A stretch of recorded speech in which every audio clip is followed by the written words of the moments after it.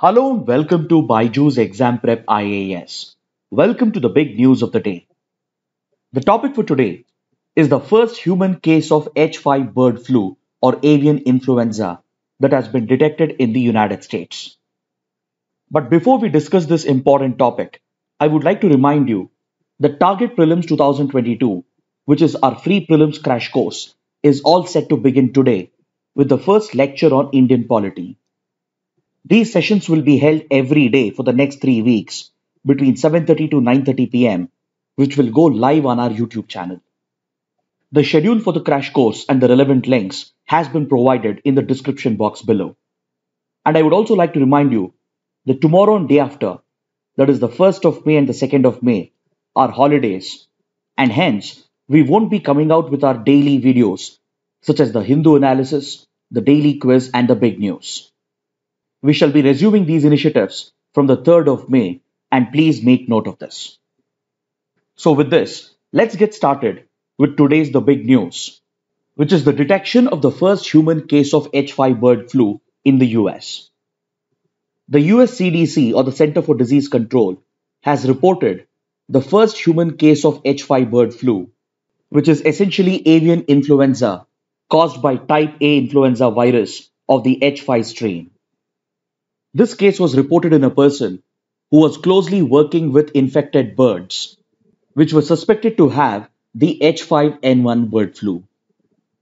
With regard to detection of H5 avian influenza viruses in humans, this happens to be the second case in the world after the first human case was reported last year in Britain. Over the years, as avian influenza amongst birds have spread and poses a potential threat to humans, these viruses have been closely monitored, and in the US alone, the CDC or the Center for Disease Control has detected and reported several outbreaks of this highly pathogenic avian influenza, especially that of the H5, H5N1 strains amongst birds, including both wild birds and domesticated birds. So it becomes important to understand what is avian influenza and what threat do they pose to humans. See, avian influenza or bird flu is known to be highly contagious amongst birds. It is essentially a viral disease caused by influenza type A viruses. And apart from this, we also have type B and type C viruses, and they occur naturally amongst wild birds, especially amongst wild aquatic birds.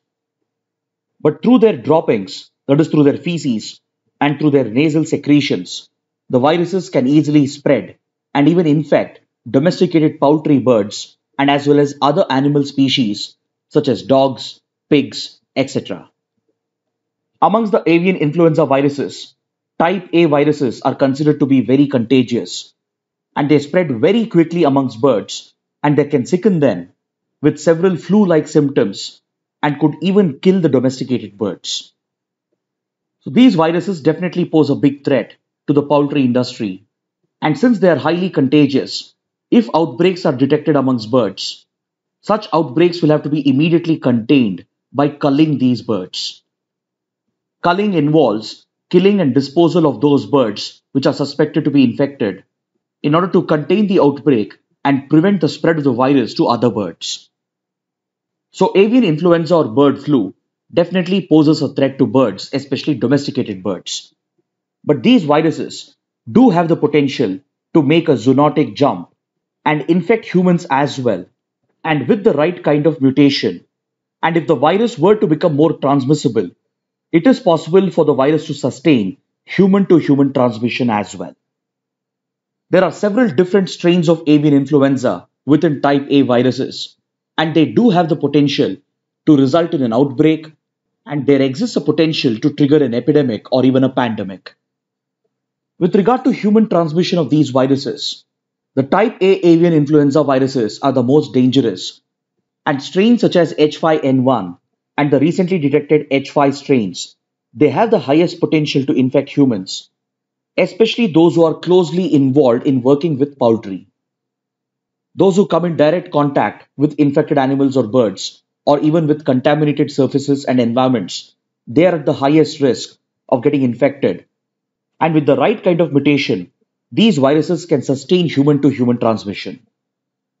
The first ever case of such avian influenza in humans was detected in 1996 1997 in China, and since then it has been detected in several other countries.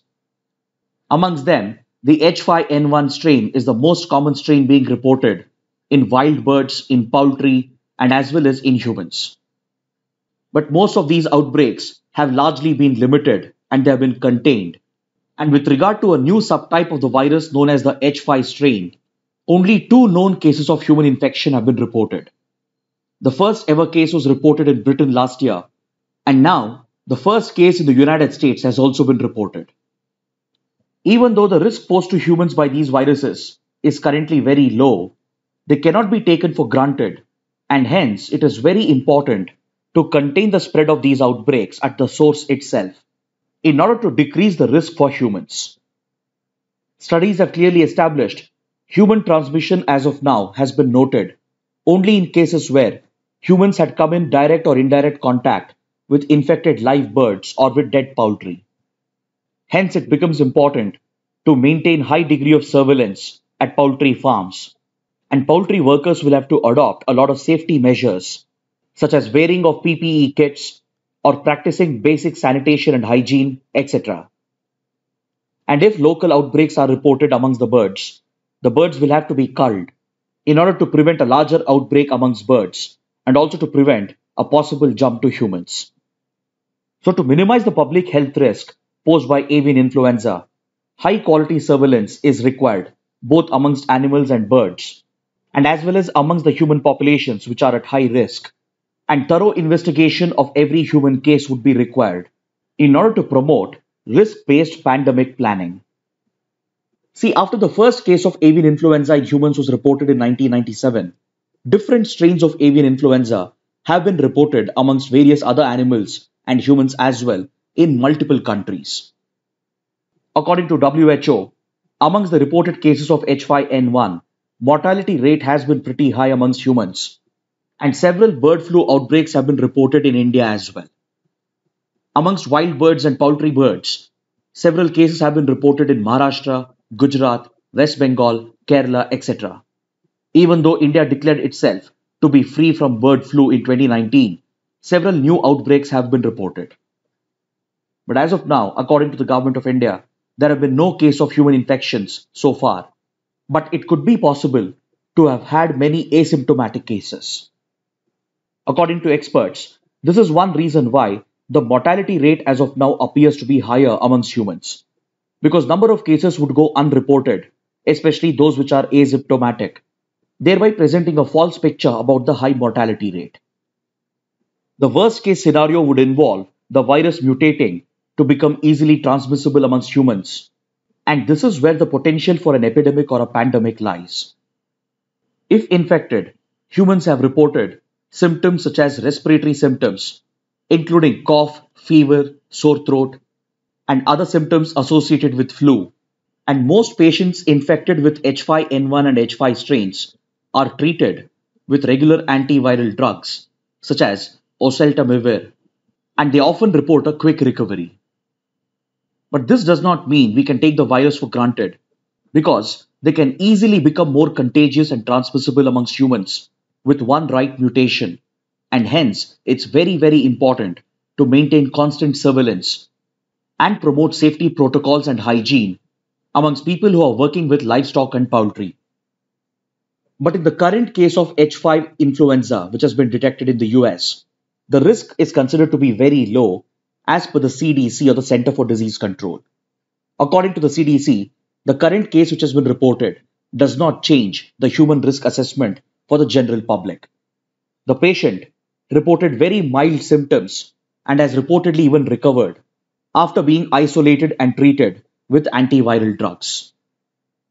But considering the high pathogenicity of type A influenza viruses, especially that of H5N1 and as well as H5, authorities around the world have maintained constant surveillance, and in the US alone, most states have reported the detection of these cases amongst wild birds and as well as amongst poultry. Hence, the CDC is closely tracking these outbreaks and has already tested more than 2,500 people with potential exposure. As of now, even though just one case has been reported, there is a possibility that those who tested negative might later test positive, and hence the CDC maintains a constant state of high alert in order to prevent a successful jump of the H5 and H5N1 viruses to humans. So this brings our discussion to an end. And if you like the initiative, don't forget to like, share and subscribe. Thanks for watching.